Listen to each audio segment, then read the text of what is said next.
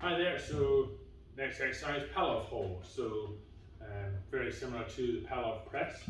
Um, we'll just be setting up a band at roughly chest height, shoulder height. You just wrap it around, loop one then through the other, and stick out like so. Then what we're wanting to do is stand a reasonable distance away, pull the band out until it's directly in front of us and just hold there. We want to just, this is anti-rotation, so we're just wanting to make sure it, we don't get pulled back this way. And we don't want to be leaning into it too much, just standing nice and straight. So make sure the ribs are down, so we kind of tense the abs slightly, so we don't flare up like this. Ribs down nicely, glutes on, and holding out here. We're looking this way, nice and out in front of us, and just holding here for a five count. To make it more difficult, we can step further and further away, or we can get a thicker band.